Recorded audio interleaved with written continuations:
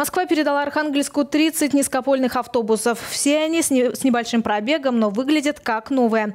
Внутри камеры наблюдения и зарядные станции для гаджетов. Свой мобильный телефон подзарядил и Виталий Барашков.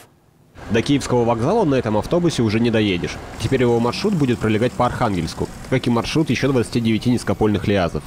Их столицы Поморья передала Москва в рамках соглашения о торгово-экономическом, научно-техническом и культурном сотрудничестве. Данные автобусы отвечают всем требованиям безопасности и комфорта.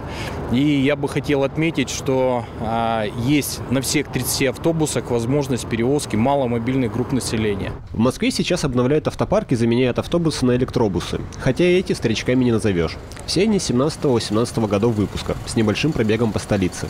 Архангельская область стала первым регионом России, который безвозмездно пополнила свой автопарк автобусами из Москвы. Внутри камеры наблюдения, чтобы вандалы не рисовали на сиденьях, система пожаротушения, спутниковая навигация ГЛОНАСС и даже возможность зарядить свой мобильный телефон. И администрация города, и сами архангельгородцы мы будем с нетерпением ждать, когда состоится э, вот эти вот конкурсные процедуры, организовываемые правительством Архангельской области. И очень надеемся, что все эти автобусы, все 30 автобусов будут э, ходить в городе на тех маршрутах, которые у нас существуют, заменяя э, вот эти сельские пазики. Планируется, что от клейма город пазик наркотиков Архангельск избавится к 2020 году. К этому времени будет наведен порядок в сфере общественного транспорта.